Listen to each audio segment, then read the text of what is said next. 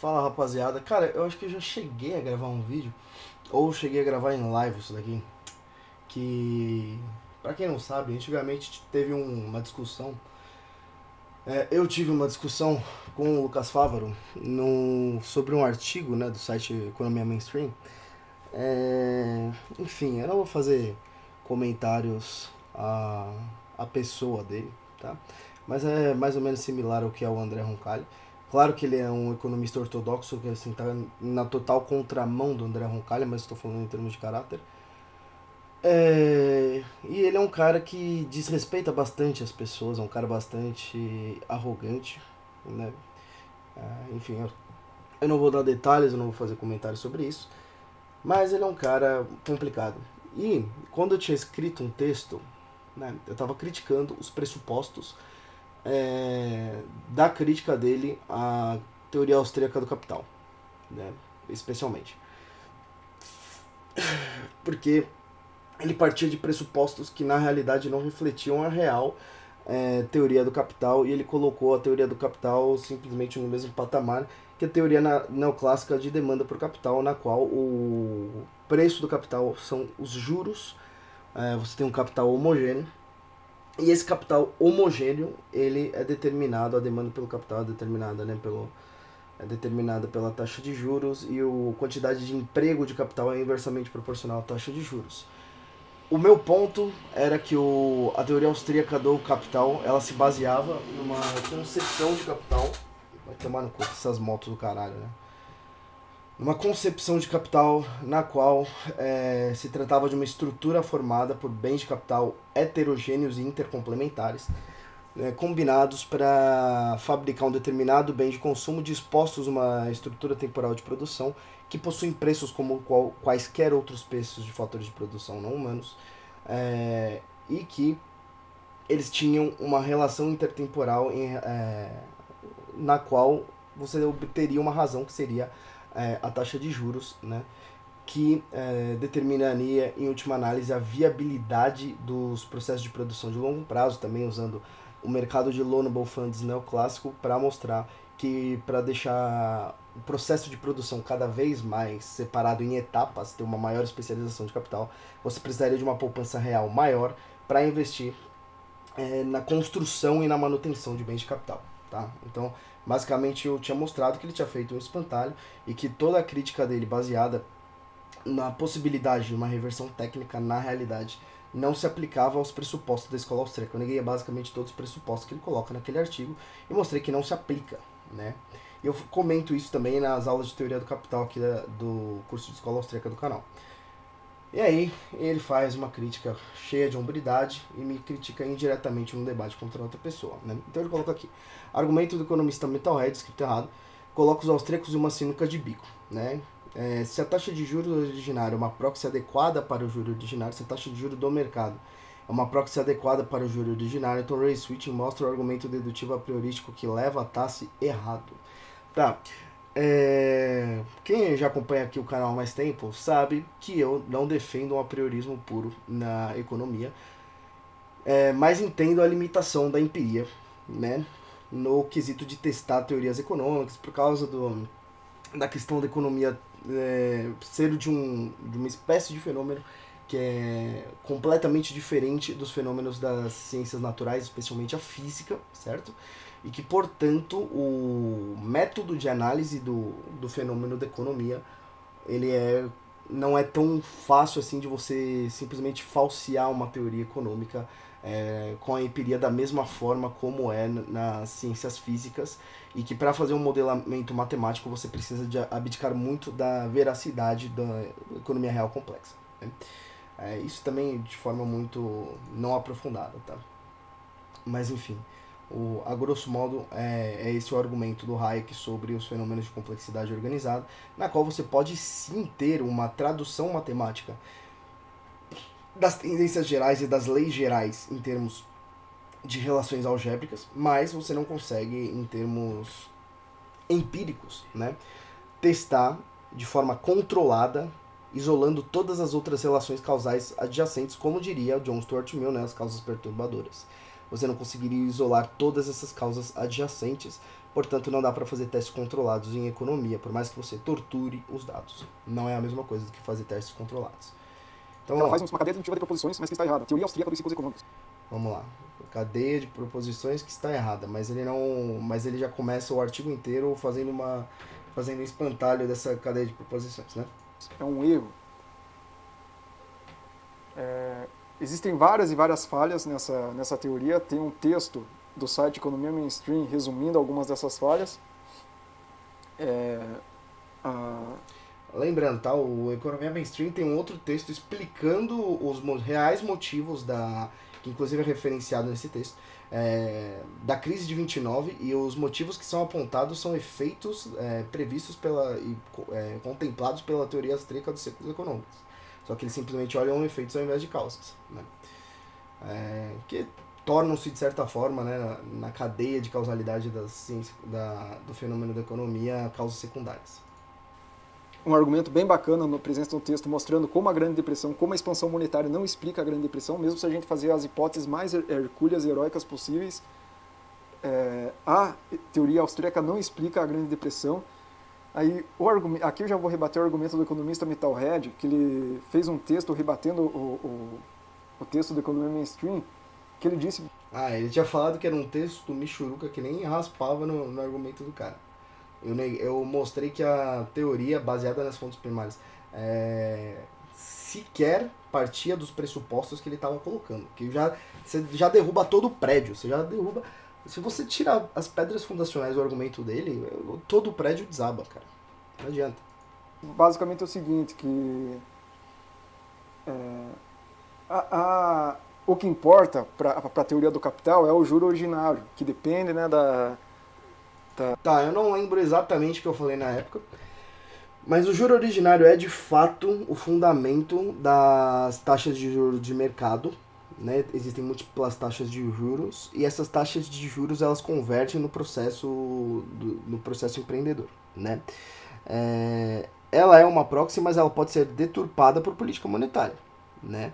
É exatamente esse o ponto. Né? Se ela é deturpada por política monetária, o, isso inclusive é o tema do meu TCC, eu chego a comentar o, o reswitching, né?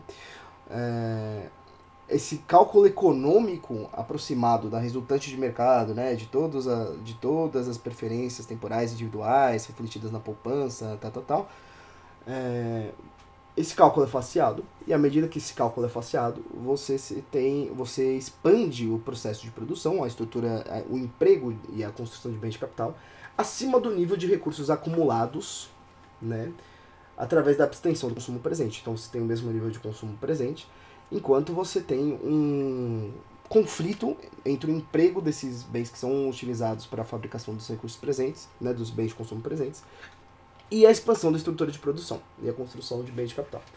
Né? Então, esse, essa é a ideia, certo? Então, o juro originário, ele não é o preço do capital, tá? Ele é a razão intertemporal entre a disponibilidade dos bens de consumo presentes em relação aos bens de consumo futuros, tá certo? E como esses recursos podem ser distribuídos na cadeia de produção de acordo com a duração dos projetos, que é o tal do tempo agregado de produção do Hayek, né? É, e agora, se a gente coloca, por exemplo, a, as contribuições do Larman, a gente percebe que não apenas isso, mas os valores de capital, os valores dos bens de capital, também vão depender da aplicabilidade deles. De modo que, e isso mais uma vez, além do efeito Ricardo, é, efeito Ricardo não, é, acho que é a inversão do efeito Ricardo, né, que o, que o Hayek fala, ser um, é, contemplar um tipo de reversão técnica, né, à medida em que processos mais diretos a quedas posteriores da taxa de juros né, artificiais é, não seriam não seriam é, eles voltariam né, a processos mais diretos de produção à medida em que os bens do capital à medida que o preço dos bens do capital encareceria devido ao aumento da demanda levada às é, induzida pelas quedas anteriores na taxa de juros, que levou a uma extensão da, da estrutura produtiva e aumento dos investimentos, é, o aumento desse preço, né, causado por esse aumento da demanda por bens de capital, é, levaria a uma queda no emprego dos bens de capital, porque eles estão relativamente mais caros, porque o seu próprio preço aumentou, que não é a taxa de juros, entendeu? É, seria melhor explicar isso daí com um gráfico do Hayek, mas enfim. É, o preço dos bens de capital ele aumenta com o aumento da demanda por investimentos. Né? E isso leva, leva a um tipo de reflexão técnica que o Hayek chama de inversão do, do efeito Ricardo. Por outro lado, nós temos o que o, o Ashman fala, por exemplo, das multiplicidades de aplicação e combinação de múltiplos bens de capital para produzir bens de consumo diferentes. E por conta disso, né, o tal caleidoscópio Lachmaniano, é, você tem uma gama de possibilidades indefinida para a aplicação dos bens de capital, de modo que uma aplicação para outro tipo de bem de consumo, a uma queda, da, na, talvez até mesmo natural da taxa de juros, tornaria um outro projeto, um outro emprego desses bens de capital menos viável, com uma maior intensidade e quantidade de bens de capital, permitindo que um processo concorrente né, de outro tipo de bem de consumo, que talvez não fosse nem relacionado, é, se torne mais lucrativo, ser mais capital intensivo, enquanto aquele se torne menos capital intensivo. Então, com o, a contribuição do Larman, né, né, da, da estrutura de produção como uma rede, como uma cadeia de produção, mais do que uma, uma estrutura fixa né, que produz bens bens de consumo determinados específicos, como os triângulos do Hayek, nós percebemos que o race switching também pode se dar devido a uma competição entre finalidades de produção diferentes, tá? Também entendeu? Então, para vocês verem o nível do desconhecimento arrogante do, do nosso querido amigo é, Lucas Fala. da taxa de troca entre o presente e o futuro, enfim, e não a taxa de juros de mercado. Só que acontece o seguinte, esse argumento ele coloca os austríacos em uma sinuca de bico. Por quê? Porque se a taxa de juros de mercado é uma proxy adequada ao juro originário, então o reswitching, o que, que é o reswitching? É um fenômeno que... Reversão técnica é que é o, de modo que você teria mais emprego de trabalho do que capital a uma queda posterior da taxa de juros e não uma, um aumento indefinido do, da quantidade de capital. Né? Isso supondo que trabalho e capital são homogêneos, que são é, premissas que são negadas pela teoria austríaca do capital. Ou seja, o que ele está fazendo é um espantalho e não coloca numa sinuca de bico, porque ele ainda não entendeu e se recusa a entender a essência da minha crítica, que é uma crítica as premissas e a identidade da, da taxa de juros como preço do capital ou próxima da produtividade marginal do capital. Tá? O, o cerne da minha crítica foi completamente ignorado. Se você diminui a taxa de juros, você pode ter uma situação em que você diminui a taxa de juros... Tipo, você... ele, nem, ele nem tangenciou a minha crítica, entendeu? E ele falou, mano, ele chegou a comentar no Twitter na época que não, que era um artigo michuruca, que nem raspava no texto dele, mas foi justamente o contrário, foi uma autocrítica. Você muda de um processo produtivo A para o processo produtivo B. Aí você diminui ainda mais, você volta para o processo produtivo A. Esse é o fenômeno do reswitch que ele, ele refuta, esse fenômeno refuta a teoria do capital austríaca, que ela, que ela diz que a taxa de juros tem uma relação monotônica com o processo de produção. Então, o reswitch, ele mostra que o argumento dedutivo a priorístico que leva à taxa está errado, caso a taxa de juros do mercado é uma proxy adequada aos juros originários. Por quê? Porque... Tá, é relevante explicar para vocês aqui usando o Varen, que é uma relação monotônica, tá? Porque todas as premissas é, dele não seguem, né? E se os pressupostos estão todos errados, então a maneira que você expôs a teoria já está errada. Ele se baseia fundamentalmente em espontâneo argumentos dedutivos, eles fazem uma cadeia lógica. Se você encontra um contra-exemplo, por mais hipotético que seja esse contra-exemplo, você quebra com todo o argumento produtivo, é, o argumento dedutivo. Então o Henry, por exemplo, eu, eu, lembro que ele falou no Twitter que... Ah, o... É, o problema é que o argumento não é esse, né, amigão? o Samuel só achou um exemplo super hipotético lá de uma taxa de juros de 150% altíssimo, não sei o quê. E... É que o Henry também às vezes dá umas respostas que, pelo amor de Deus, cara, se vocês verem a última live também. Isso não se aplica ao mundo. Cara, mas argumentos dedutivos, não importa se você faz um, contra-exemplo hipotético ou não.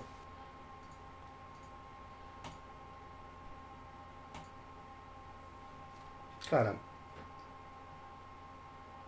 tudo isso é relevante. Tô, se é, ah, se você o contra-exemplo é hipotético ou não, se ele é plausível ou não, tudo mais. Lógico, a, a você tem que refutar pela lógica, né? Mas a questão é que o contra-exemplo dele é baseado em premissas completamente espantalhadas. Se vocês acharam difícil entender essa questão da teoria do capital, vão nas aulas aí no, na playlist de escola austríaca que eu explico com gráficos, eu explico com texto tudo mais. Não é o melhor curso do mundo, não, até porque a gente sempre evolui né, no, no nosso processo de aprendizado e tudo mais. É, mas enfim, cara, esse cara realmente não, ele não faz ideia do que ele tá falando, cara. Anos se passaram e eu mantenho a minha posição, até assim, estudando mais, estudando outros desenvolvimentos da teoria do capital, eu vejo que ele tá ainda mais errado. Né? O Jesus Huerta de Soto, o Peter Lewin e o Nicolas Kachanowski tem livros que eles abordam a teoria do capital. O, o Jesus Huerta de Soto, né, no Moeda Crédito Bancário e Ciclos Econômicos, ele fala justamente da crítica do race switching, como ele se aplica muito mais aos, aos neoclássicos e mais fortalecem do que diminuem a força do argumento austríaco. É, no livro básico lá do Biratan Jorge Ore dá para facilmente compreender a inversão do efeito Ricardo descrita por Hayek como uma forma de reversão técnica.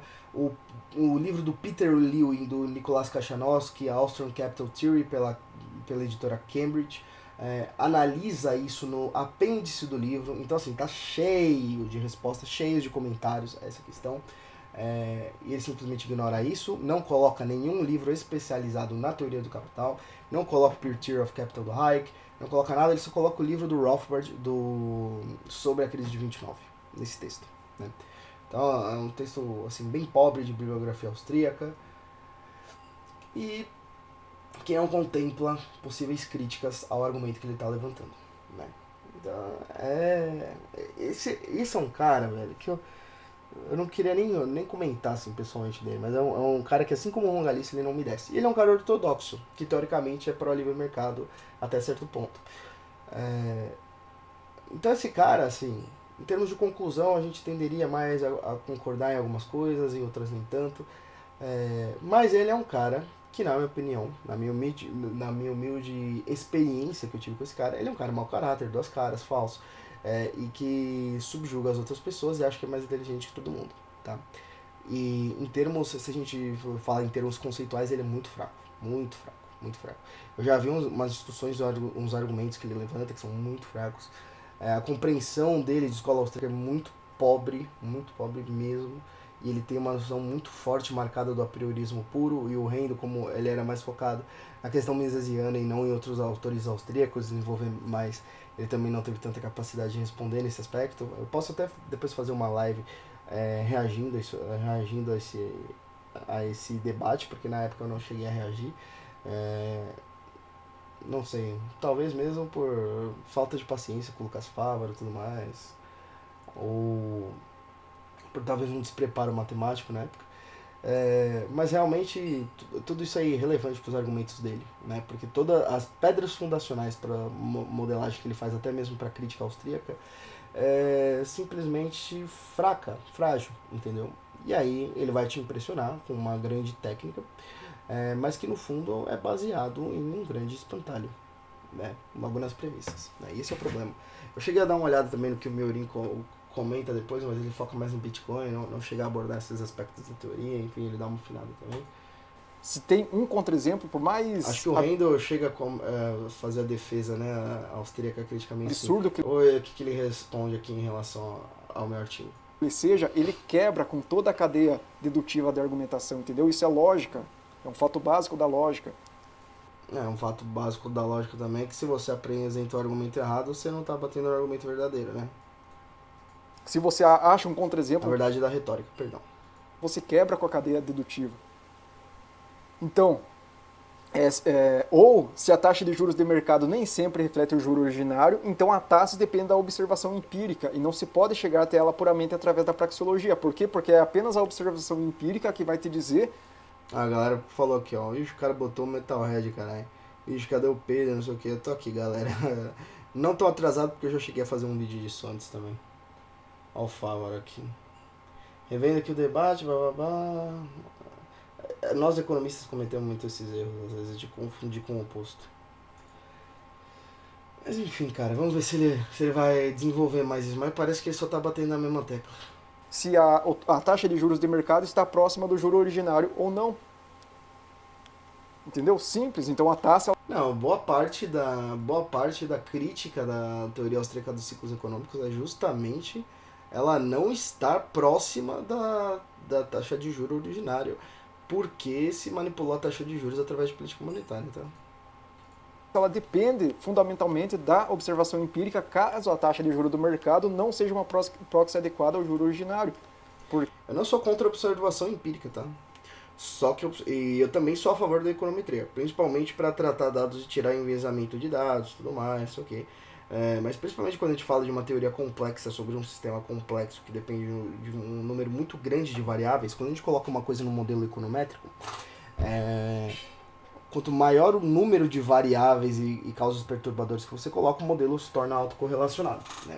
E quando a gente fala de fenômenos complexos, não basta analisar apenas com a teoria geral dos ciclos econômicos, mas olhar também outras causas perturbadoras. Né? Esse é o trabalho do economista e esse é o trabalho de uma análise econômica, que é uma análise de um fenômeno complexo que exige analisar causas adjacentes, por mais que sejam só as principais.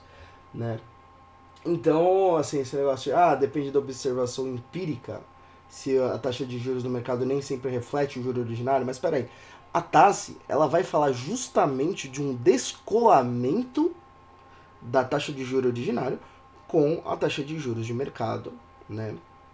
baseada na ideia da estrutura de produção, que, como eu falei aqui, usando o Lafman, é uma estrutura que compete para múltiplos fins. Você pode analisar aproximadamente através de setores, mas você não consegue fazer isso através de modelagem. Exatamente por conta do problema da complexidade. Entendeu? Enfim. Né? É, de novo, eu não estou me opondo à empiria, mas eu estou é, levantando a diferença epistemológica da ciência econômica em relação à ciência natural. Ele chega até a defender um, um determinismo, determinismo fisicalista depois, enfim. É, é o supra-sumo da chapação de linguiça. Porque. É isso que dá o cara no estudar filosofia, né? E ficar no, nessa tesão de e eu compartilho, tá? Porque eu acho que economia matemática é um negócio muito legal. Mas assim, é, não adianta você forçar um negócio, né? Porque você quer transformar a ciência social em uma espécie de física, para se sentir como um físico, entendeu? A questão é que as coisas precisam ser justificadas, e elas precisam ser justificadas conceitualmente, filosoficamente, entendeu? Senão você não consegue estabelecer, estabelecer seu próprio método, né? Você simplesmente vai estar usando critérios arbitrários e vai estar tá abrindo mão de veracidade por conveniência. Você tem lá o juro originário, abstrato, você tem a taxa de juros do mercado. E, vo e você tem o fenômeno. O juro originário não é abstrato. Ele se manifesta empiricamente através das decisões de poupança e consumo. Isso é basicamente o modelo neoclássico, tá? Isso está no modelo neoclássico de loanable funds, tá? A relação entre poupança e investimento mas como um processo equilibratório, né? que você tem como se fosse né, o juro de equilíbrio fosse um reflexo dessa, desse juro originário que nada mais é que uma resultante, digamos assim, de mercado das preferências temporais individuais. Fundo do reswitching. Você, você observa a taxa de juros do mercado, ela é uma, ela é uma proxy correta para o juro originário ou não? Se sim... Sei falar muito devagar. A, a mais que eu. Não se pode chegar à TASSE através da dedução. Se não, a, a TASSE depende da observação empírica. Ou seja, uma das duas coisas deve ser abandonada pelos austríacos, ou a praxeologia ou a TASSE. Continuando. Hum, argumento do whisky. Hum, mesmo whisky caro e barato são dois bens distintos. Nossa, isso daqui ignora completamente o processo de mercado, hein, cara? É, preços diferentes no mercado ocorrem simplesmente por problemas de conhecimento, cara. E que existe um incentivo para ação empresarial para fazer uma coordenação entre esses preços diferentes, cara. E obter um lucro de arbitragem, cara. Bem, nossa, esse daqui é bem fraco, hein? Réplica austríaca por de bens de Vleber, eles não são bens de fato, bens de uso ostentatório. É...